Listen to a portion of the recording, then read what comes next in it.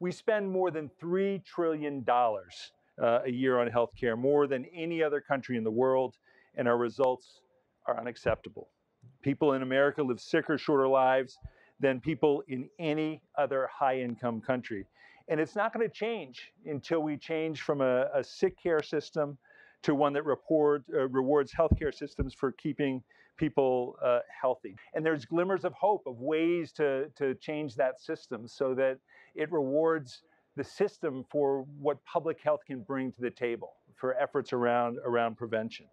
Uh, we need to uh, expand our understanding of the social conditions and the systemic barriers that directly affect health. Uh, things like the safety of our neighborhoods, uh, whether a 40 hour a week job gives people enough to make ends meet that they can live on and do something more than that, uh, whether we have good and reliable transportation to get us to jobs, and things like whether families have access to safe places where their kids can play, whether we all have fair access to affordable housing in neighborhoods that provide kids an opportunity to thrive, and whether every community can offer nutritious food to families. And whether some groups have to live their entire lives dealing with the relentless stress of being marginalized because of who they are, where they live, or how much money they make.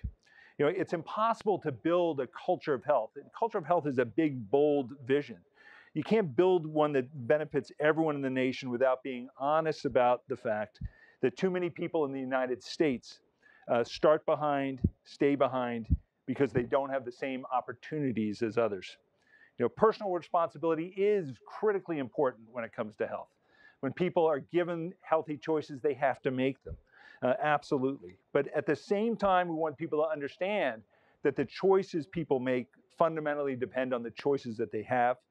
Uh, America cannot be a healthy country if we're leaving communities without those healthy choices. So, what health equity really means, what it boils down to, is this concept of, of opportunity. And when you frame it as opportunity, it, it truly is a fundamentally American value. Uh, we were founded on a notion of that we were all created equal. Uh, in our Pledge of Allegiance, we, we, we pledge allegiance with liberty and justice for all. And we pride ourselves on being a land of opportunity.